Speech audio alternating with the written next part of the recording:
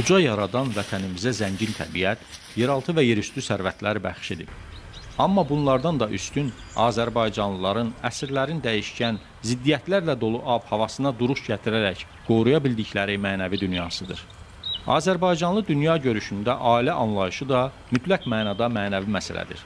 Amma o da bəllidir ki, zənginləşən, konkret desək pul kütləsi çoxalan ölkələrdə cəmiyyətə, xüsusən də ailə təsisatına, sərvət hərisliyi, mal-mülk toplama ehtirası və bunlarla birbaşa bağlı olan mənəviyyatın deqradasiyası kimi təzahürlərin təhdidi riski də böyükdür. Odur ki, bu təzahürlərin daha çox yer aldığının heç kimə sirr olmadığı ekran efir məkanında nəfsin, şan-şöhrət və var-dövlətin qulu deyil, mənəvi sərvətin qoruyucusu olanların daha tez-tez görünməsinə çalışmağımız pis olmazdı. Elə bu baxımdan da biz hər zaman Azərbaycan milli ruhunun aynası olmuş Gəncə elində, iki sadə ziyalı ailəsinin timsalında ruhun ehtiyacına xidmət edəcək söhbətlərə sizi də qoşmaq istədik.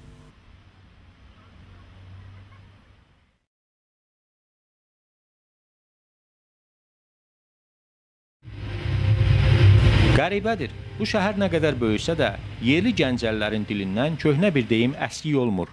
Gəncə balaca şəhərdir, burada hamı bir-birini tanıyır.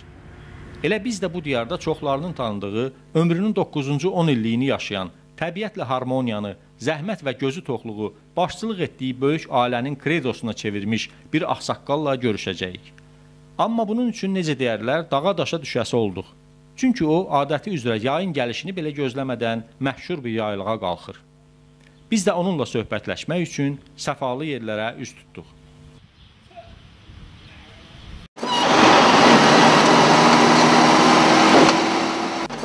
Yağış, çiskin, yol boyu yaxşı heç nə vəd etməsə də, çatarkən necə deyərlər, Allah üzümüzə baxdı və hava açıldı. Mənzil başı isə məşhur Xoşqulaq yaylağıdır.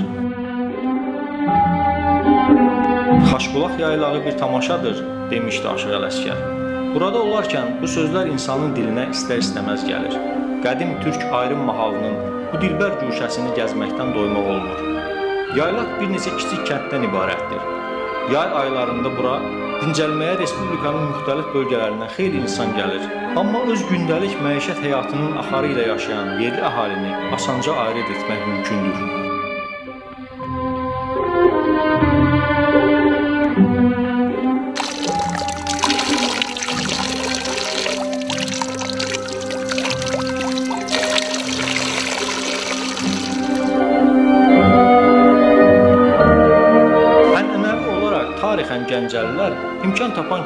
Yaxınlıqdakı dağ kəndlərində də özlərinə mülk yaratmaq qayğısına qalmışlar. Bu ənənənin davamçıları indi də mövcuddur. Yusif Əliyevi həm Gəncəli, həm də Xaşqulaqlı kimi tanıyırlar. Yusif müəllim zəhmətə və torpağa qəlbən bağlı bir insandır. Kənd təsərrüfatı elmləri namizədidir. Onlarla elmi məqalələrin müəllifidir. Gəncədəki Azərbaycan Kənd Təsərrüfatı Akademiyasında yetişdirdiyi saysız hesabsız tələbələrinə elmlə yanaşı doğma vətən torpağına sevgini də aşılayıb. Söz mülkünə də biganə olmayan Yusif müəllimin çox sadə və hər birimiz üçün ibrətli bir həyat fəlsəfəsi var. Allah Teala işığı da, günəşi də, istiyi də, havanı da hamıya bərabər paylayıb. İntihas insanlar öz şuuruna görə, əqidəsinə görə, bacarına görə müxtəlif formada istifadə edirlər. Həyatı sevən, demək təbiəti sevən, ictimaiyyəti də sevir, cəmiyyəti də sevir, torpağı da sevir. Vətənə qarşı da böyük məhəbbət olur. Vətənə qarşı olan məhəbbət insanda böyük həvəs yaradır, ruh yaradır, yaradıcılıq ideyası verir. Ona görə də mən həyatımı bu yolda yola sərf eləmişəm. 89-cu ildə bu Xaşbulağın gözəl bu mənzərəsində bir yer seçmişəm. İndi burada da bax, gördüyünüz bu mənzərələr adicə səhra idi. İndi böyük bağ, bağ salmışam, müxtəlif meyvə ağaçlarıdır. Onun üçün bax, belə bu təbiətin bu gözəlliyi mən o qədər valih eləyib ki, mən təbiətdən ayrıla bilmirəm. Demək, əgər insan çox yaşamaq istəyirsə, səmimi olmaq istəyirsə, vətənpərvər olmaq istəyirsə, əməkdən möhkəm yapışmalıdır. Baxmayaraq, mən özüm də 82 e, yaşıma heç kəs vermir. Ona görə ki, zəhmət mən o qədər gümrah saxlayır ki, bu gün də e, öz, o gəşlərdən fiziki cəhətdən, iş sahəsindən geri qalmıram. Bu saatları mənim 15 nəvəm var. Bir 5 nəticəm var. Allahın köməyi ilə bu yaxınlarda kötücəmiz olacaq. Demək, bax, bunların hamısı insanda böyük həvəs yaradır, yaşamaq ruhu yaradır. Çox vara devlətə uyanlar həmişə ailə tərbiyəsindən uzaqlaşırlar. Evlad tərbiyəsindən uzaqlaşırlar. Çünki onların başı qarışır, yəni var devlət toplamağa, evlad yaddan çıxır. Evlad yaddan çıxırsa, demək o ən bədbax adamdır. Kim artıq tamaqdırsa, kimsə başqasını qibdə edirsə, paxıllıq edirsə, o yaşaya bilməz. O həməşə qəm-qüssə içində olur. Həməşə ki, başqasının hesabını da çəkir. Amma insan öz əməyinə qani olursa, öz Allahın qismətinə qani olursa, demək xoşbaxt insanlar saymaq, xoşbaxt insanlardır. Və mən belə təsəvvür edirəm, belə də olmalıdır və bütün gənclərə də məsləhətim də budur ki, qoy olar, yalnız öz zəhmətlərindən bəhrələnsin, qismətinə qani olsun. Heç kəsə nə paxıllıq eləməsin, nə mərdivazarı eləməsin, nə özünə əlavə yük olub xəstəlik yaratmasın. Yusif müəllimin sadə həyat formulu hər dövrlər üçün bu günahkar dünyanın xilası sayılan məhəbbət, səmimiyyət və halal zəhmət prinsiplərinə söykənir. Elə bu vur-havur dünyasında müdrik və sağlam qalmağın açarı bundadır. Həmin gün Yusif müəllimin 82 yaşı tamam oldu. Övlad, nəvə və nəticələri nəslin başçısının ad gününü elə bu səfalı Xaşbulaq kəndində qeyd etdilər.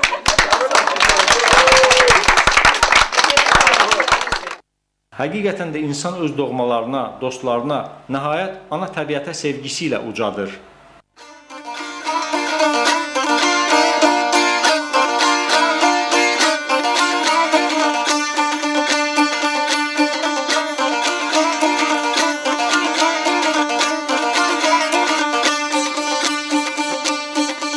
Gəncə şahın naləsinə çevriləm, qanın axmış xınasına çevriləm. Şəhid olmuş balasına çevriləm, şəhid olmuş balasına çevriləm. Dəfn olunam qucağına dağların, ey öləm, ay öləm.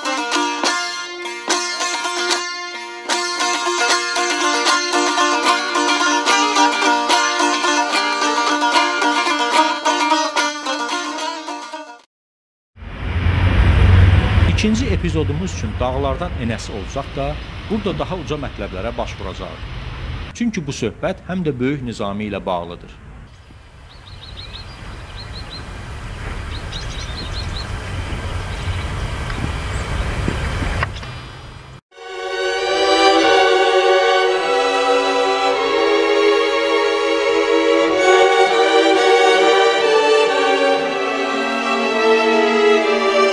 Nizaminin şeiri oxunan zaman o da hər bir sözdə görünər əyan.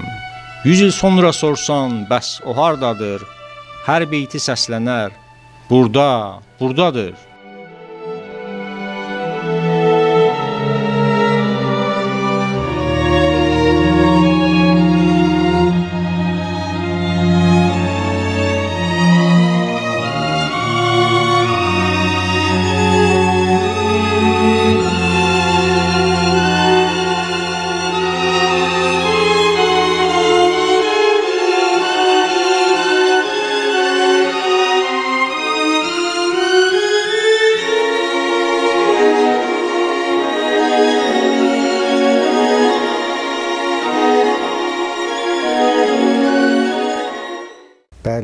Nizami buradadır, bizdədir.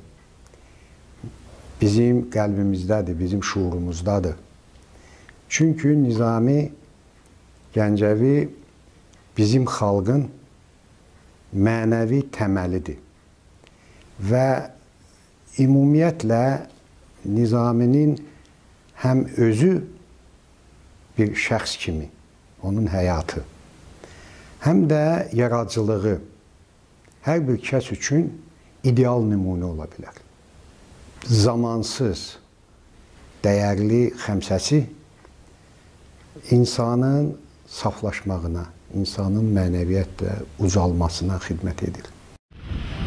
Azərbaycanda ümumən dünyada nadir bir sənətin, miniatür sənətinin və onun Çini üzərində işlənməsinin ustası olan bu insan bütün ömrü boyu öz peşəsi ilə dahi nizaminin həyata baxış fəlsəfəsinin tərənnümçüsü olmasına da bir missiya kimi baxır.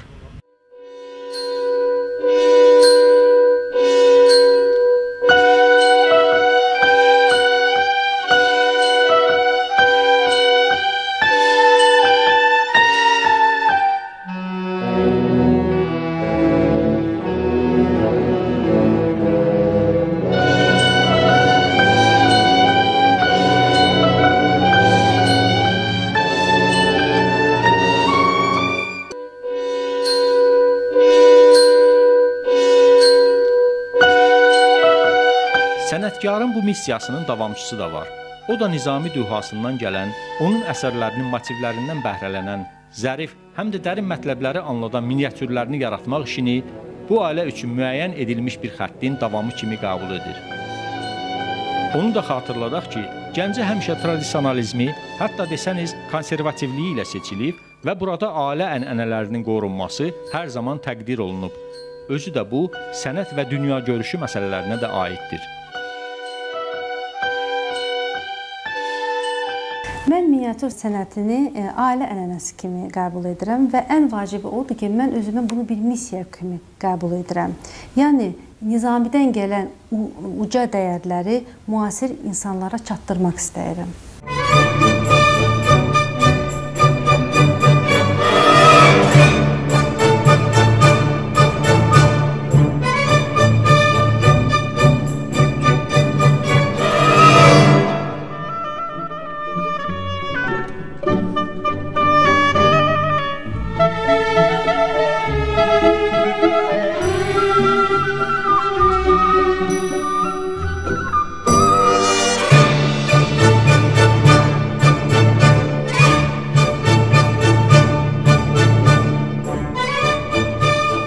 rəssam çəkdiyi hər miniatürə beytlər də yazır. Sənətin bu növünün əsrlərdən gələn qaydası belədir. Beytlər təsviri anlamağa bir açardır.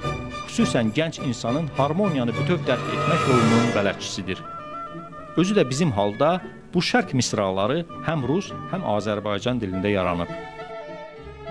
Семь цветов воспеты великим Низами, семь символов несут в себе семь откровений.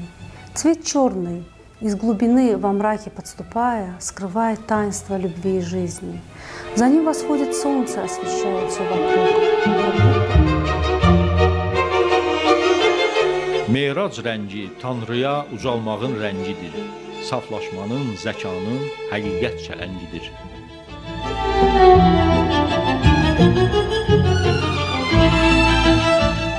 Qeyrət rəmzi yaradıb, çinarları yaradan, Günəşlə boy atıbdır, olub dosta, yara, dan. Al şəfəqli səhərlə, o şeyhlə doydurulmuş, onun üçün də o güclü, məğrurluq rəmzi olmuş. Əzəmət və gözəllik qismətidir dünyada, müqəddəs əlamət tək düşəcəkdir oyada. Qədim Gəncə düzünün misilsiz bəzəyidir, sevincin, təravətin, sərinlik özəyidir. Ucalıq və qocalıq dünyada qismətidir, ötüb keçən günlərin sirdaşı şahididir.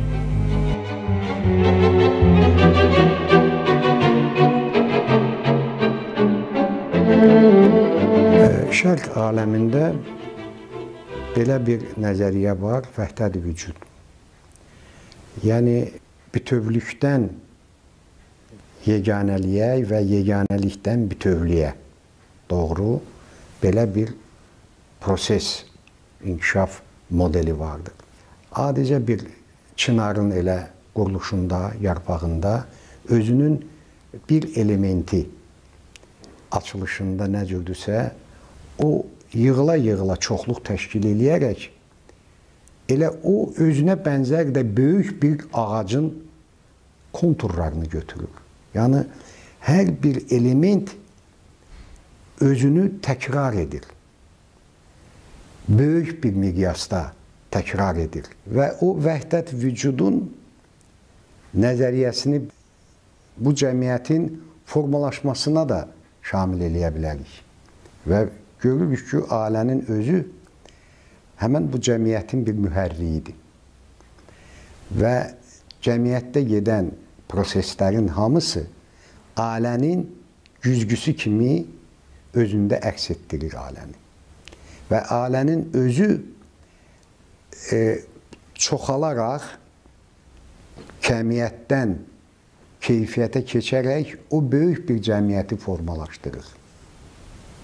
Xoşbaxtlıq onda özünü tapır ki, cəmiyyət və ailə harmoniyada, uyğunlu şəkildə özünün gələcəyini, gələcəyə inamla baxmasını və gələcək nəsilə e, ötürdüyü e, bütün e, dəyərləri nizamlayıb və ona saf bir şəkildə verməlidir. Nizaminin də bütün dünyası, Nizaminin də bütün tövsiyələri elə bundan ibarətdir. Ona görə Nizami zamansız və bizim üçün e, bir tükənməz mənbədir. Biz də bu filmi hazırlayarkən düşündük ki, yalnız öyüd nəsihətlə deyil, əbədi dəyərlərlə təması yadırğamamağa çağırış cəhdimizlə hər birimizin, ailəmizin və deməli cəmiyyətimizin əsl maraqlarına az da olsa xidmət etmiş olaq.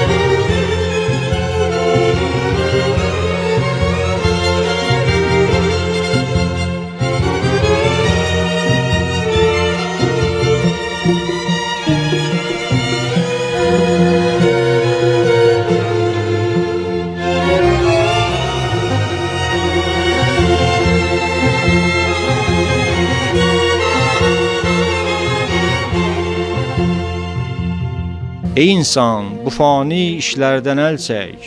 Kim ki alçalmadı, o yüksələcək.